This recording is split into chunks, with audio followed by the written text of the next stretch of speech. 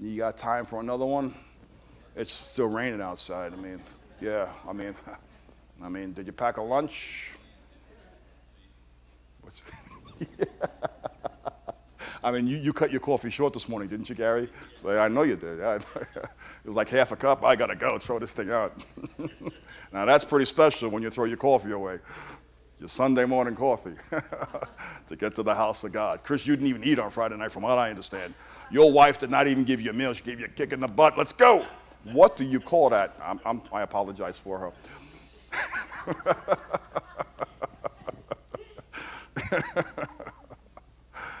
All right, let's get to our story. How dare you expose me in front of everybody? I feel so. All right, praise the Lord. We're not taping this or anything, right, Keith? All right, so Exodus chapter 33. Let's read this other story, Moses. Exodus 33. And it's a real similar one, verses 15 through 18. Okay? So Moses, the great deliverer of the children of Israel, he went before Pharaoh and he said, What did, what did Moses say to Pharaoh? Let my people go. All right. So, so no, this, is, this is not the time. So that I should not speak like that to my father. He'll say, I'll tell you when the time is, son. okay, thanks, Pop. Very good. So he, he let the people go, and they went to this place called Mount Sinai, the mountain that was on fire. It was called the Mountain of God.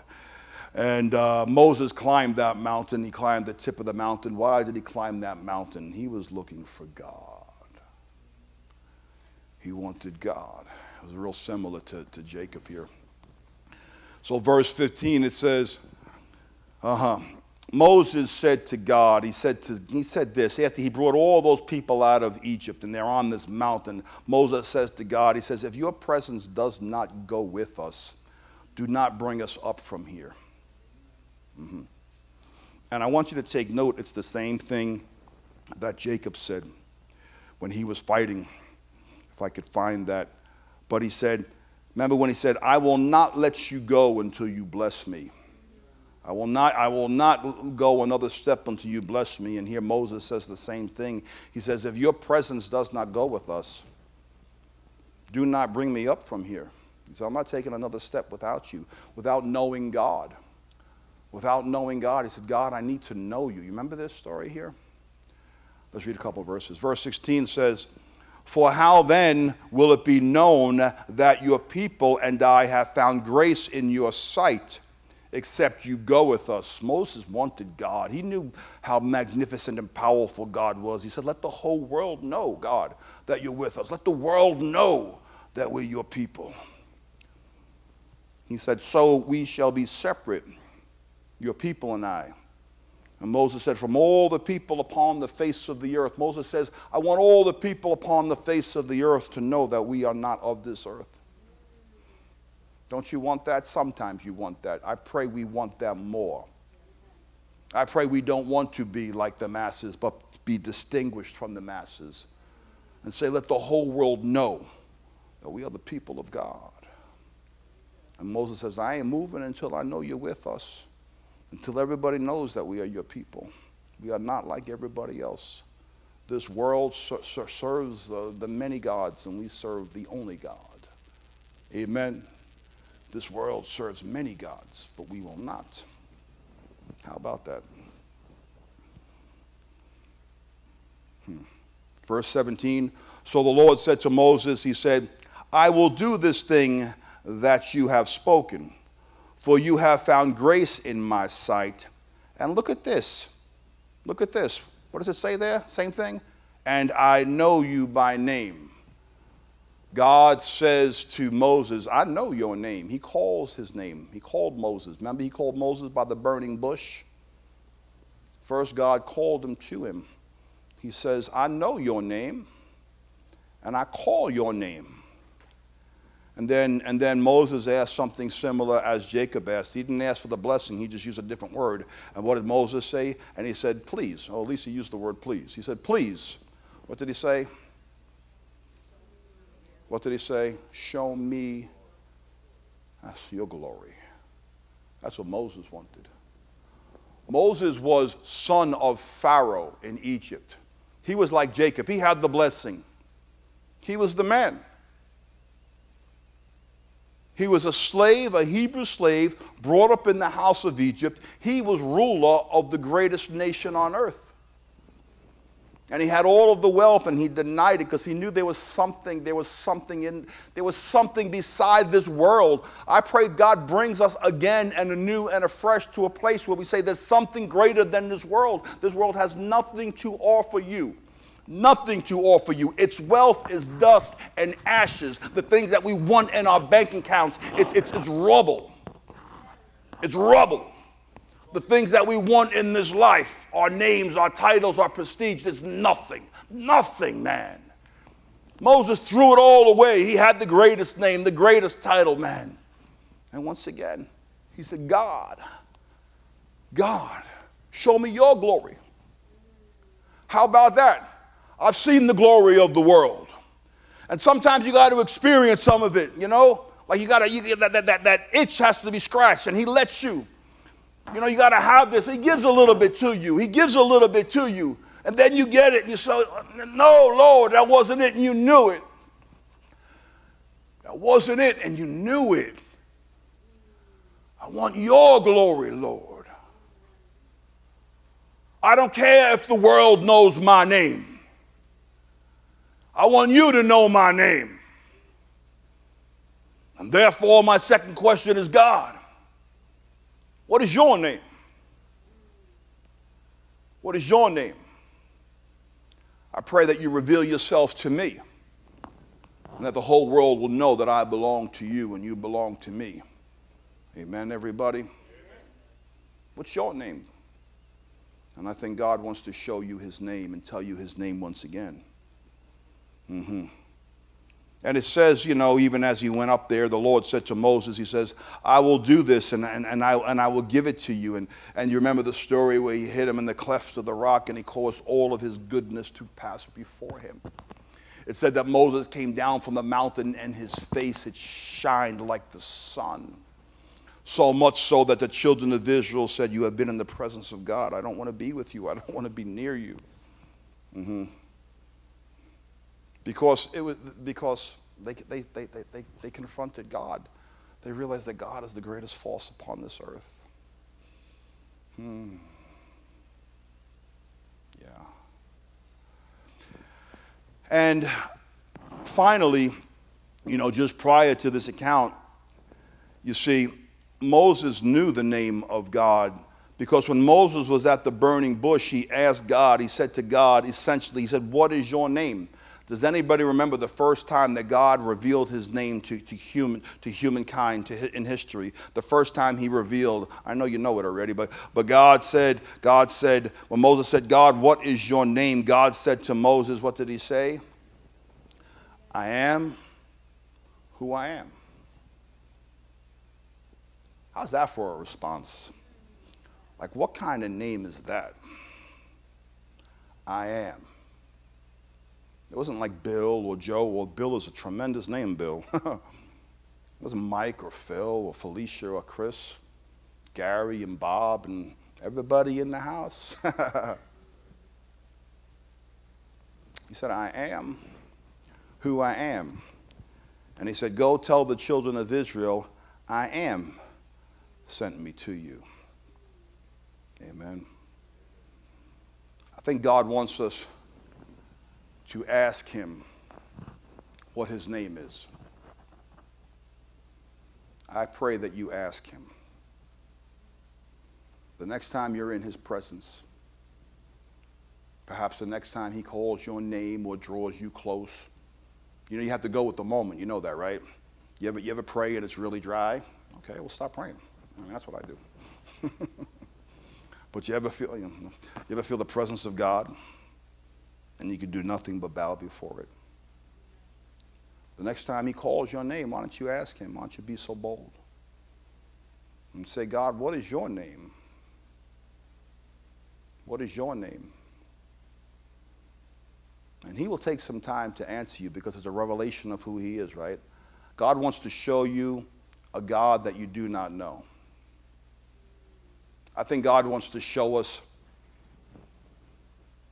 just how glorious He is, just how powerful He is. I pray that God wants to reveal Himself to us again. And even in that name, when He says, He says, I am. I am is the present tense, you know, right? He didn't say, I was or I will be. He says, I am. Like God says, who, who, who am I? I'm the one that's with you. Like if the whole world is not with you, I'm with you. And let me tell you something that's most important because sometimes you don't care about the world and neither do I, right? Who cares? But you know what? Sometimes you're not with you and you're not for you. A lot of times you're not for you and you don't care about yourself. But God says, I am. I am for you, even when you're not for you. Thank you, Jesus. I have not been for me maybe most of my life. How about you? Oh, I don't know. Maybe I, no, okay. I don't know. Just throwing it out there. I don't. I don't know. I feel as if I have not been for me. But God says, even when you're not for you, I'm for you. When you say, I don't care about myself, God says, that's okay, I care about you. When you say, I don't love myself, he says, that's okay, I love you. When you say, I'm not beautiful, he says, that's okay, you're beautiful to me. When you say, it don't matter, he says, yeah, it matters a whole lot. When you say, hey, I forget about the promises of God, and I forget about my service to him, and I forget about my love for him, and God says, I didn't forget. I didn't forget. When you're crying and you say, God, it's okay, it don't matter, I'm all right. He says, no, it ain't all right. Sometimes you need somebody to stand up for you and say, no, it ain't all right. It ain't all right. And when God says it ain't all right, He's going to do something about it. He says, I see you, I hear you, I feel you, and I'm going to make it right. I believe that to be true. And I think God, I, I, think very much the word of the year, brother, is the word arise. Like when Jesus stood up, man. Well, well, you know, it says that he sits at the right hand of the Father, but every now and again he does stand, you know. Every now and again he does stand up. And I believe he stands up again and he calls your name. He says, I'm going to change your name because I'm going to tell you who I am. And that's just who I am. I'm the one that's always been for you. I'm the one that was with you when nobody was with you. I'm the one that was with you when it was really dark and really scary. I'm the one that was with you when you gave up on life and you know what I'm talking about. Do you know what I'm talking about? When you gave up on life, you don't care no more, but by the grace of God, you still sit here this day. He says, I'm the one that caused you to still sit here today. I'm the one who still loved you. I'm the one who said you have worth and value. I'm the one. he says, I'm the one. I'm the one who loves you. He says, I am. I am. I am always present in your life. May you get to know, and may we get to know the I am. And I guess maybe the I am, maybe get to know him when we're at the worst. He, when we are at our worst, he was with us. Uh-huh. And in some translations, not only says that I am who I am, it also translates, I will be who I will be. You ever hear that translation of, of, of that, that experience? He not only says, I am who I am, but he also says, I will be who I will be. Foremost, I think he says, I'll do whatever the heck I want to do in your life. I will be who I will be, and I don't really care what you think, because most of the time you don't think the right thing anyway. Most of the time you don't love yourself enough anyway, and you don't think enough about yourself as you should anyway. So I don't care what you think, because sometimes your dreams and your visions, your thoughts are way too small. Because I will be who I will be, and I will do with you as I want to do with you. Boy, it kind of knocks you out of the picture, don't it? Thank God, you're just in the way anyway. Get out of the way. You know, in that he, not only he is who he is and he will be who he will be. I think Jesus Christ, when he came to the earth, he says, uh, I am. I am. Uh, uh what, how does that go? Um, I, I, am, I was, and, and I will be, right? He is the great I am, right? He is the great I was, right? And He is the great, I, I, I am still the one to come in your life. Oh my goodness, He has always been the one in your life. And I know we've been blind to that. And I know we've chased other things, and, and it's okay. It's allowed as children and as young men and women. We're allowed to chase the other things, and He might even let you, let you get a splash of it once in a while. But He says, That ain't it, man. That ain't it. And He says, I'm going to show you who I am. I'm going to show you who I am. And then, and then that you will experience you will experience that because you know what God does with his name in closing? You know what God does with his name? Let me answer it. I know you probably have an answer. He gives it to you. He says, I give you my name. So what's your new, what's your new name? He says, I give you my name. I give you my name. And maybe the next time you say I am, you realize like, wow, I have his name. I am. What might, what might you say after that? I am. I pray the words of God unto you. I am. Maybe something simple. How about, let, can we start something simple, class? How about, you ready? I got nothing but sour looks all around the room. Sour, sour. Not there, thank you. Sa- Phil? Yeah, I know you don't give a rip, I know. He's reading his Bible, he's not even listening to me. He's working on next week's message. He's saying, What can I do to redeem this, Lord? What can I do to redeem this? Give me some redemptive words for the end of this service. That's, I know. I just know. anyway. May you first say this I am happy. I'm happy. I'm thankful. I'm grateful. I pray you say this I'm strong. Maybe, maybe you might even say something like this, just a trick, something like, It is well with my soul. It is well with my soul. Mm-hmm. I am. I am. I pray that we experience that I am again. I pray that you know this God that you do not know. I pray you know that he is everything and this world is nothing. I pray you know that. That he is everything and this world is nothing. How about that? And then you take his name because it's the glory of God to give it to you. And why don't you stand up and say, you know what? I am. You are what? Blessed. I am blessed. I think you say that a lot, Brother Jim. I am blessed. But don't say that exclusively as if you're the only one that's blessed, okay? Don't, don't do that. That's not nice. Everybody's blessed. So if you're blessed, then give the blessing. Right? It's never, it's never saying I'm blessed and you're not. I'm favored and you're not. It's never that religious nonsense. Right? But may you at least say it for yourself. I am. Can you say that today with me? I won't look at you. Can you say, I am blessed? I am blessed. Yeah, all right, Phil, nothing out of you, still nothing? I am blessed. Can you say something um, I, I, I have the glory of God in my life? You know what the glory of God is? Let, let, me close with this. You said that already. Let me close with this. when Moses says, I want to see your glory, you know how God appeared to him? You, the glory of God is seen in a cloud. You know that? When God, when Moses said, I ain't going unless you go with me. So what went with Moses? The cloud and the fire, right? That was the answer. I'll give you my glory. All right? Did the cloud, cloud rain on you this morning? Yeah, the cloud rained on you, but it was the glory. It's the evidence of God. I give you my glory. I give you my glory. What is the glory of God? It's the weight of Him, it's the weight of His full being and character. I pray that we feel that more and more. I pray that we feel it. Can I get an amen? You ever feel the weight of God's glory? I'm curious. No more raised hands. You ever feel the weight of God's glory? You feel it, it's overwhelming. It's beautiful, right? It's beautiful. It's like you want to say no more, but you don't say that. You want to say more, more, more, more. You ever get that way? You ever get that way? It's like it's too much, but you don't tell God that. More, more, more, more, more. Go ahead and be greedy for that, man. Be greedy for that, man. Like when you can't take no more, you say, More, Lord, more, Lord, more, more, more, more, more, more. and you get up. Is that all you got?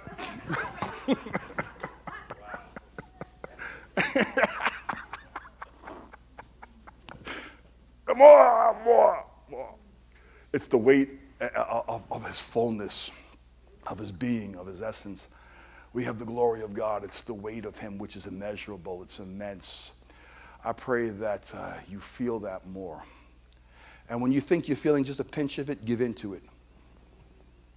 Acknowledge it. God gets bigger when you acknowledge Him. Saying, I feel that, Lord. I feel that, Lord. I do that more and more, don't you? I feel that. Sometimes I say it out loud, sometimes I don't. I feel that, Lord. When you feel him and when you see him enter the room, you ever see the glory cloud? The answer is yes, you just don't know it. When the glory cloud enters the room as if it just came into the room, not really. Say, I see you, Lord. I pray you sense his presence more. You know why? Because he's always with you. But we're wrestling and chasing everything else. I pray you feel it more often. I pray we see it more often. I pray we acknowledge it more often. I, I pray more often we say, I know you're here, God. I feel you. I see you. I know it, Lord. I know you're here. I feel you. I know you. May we be the people of God upon the earth. May we be different from all of the world. May all of the world know that we have been with our God. May your face shine like the sun. I pray that your face shines like the sun. I pray that fire comes out of your eyes. I pray that when you open up your mouth, nothing but truth and light and life comes out of it.